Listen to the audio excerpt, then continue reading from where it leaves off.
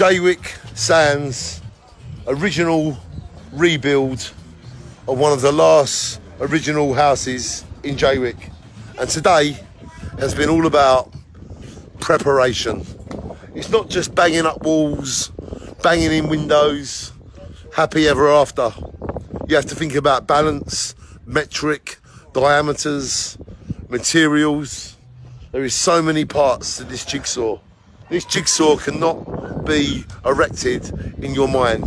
You have to measure things, you have to lay things down, you have to get the middle, you have to get the balance, you have to get the circumference. Now that's a big word, circumference. So please don't tell anyone that I said that because they might use it against me. And anything I do say will be used in evidence. So don't mention the word circumference. It is a wonderful day here today in Jaywick. There is lots of beautiful people walking around. Hello, how are you? This is a beautiful day. How are you, wonderful lady? Are you enjoying Jaywick? She sure is. That smile on that lady's face makes it all worthwhile. And we've got a great friend over there who we called AKA Sir Charlie. And he's over there and we love him. And Charlie basically comes to make sure that I don't mess up.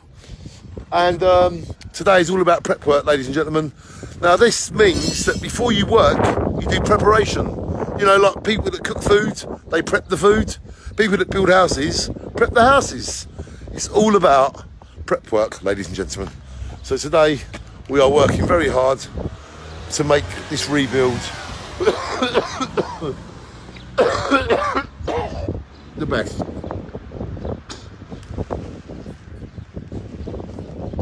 So I'll be drilling lots of holes, putting up the bottom of the stud walls, putting down the DPC damp course, and it's all prep work.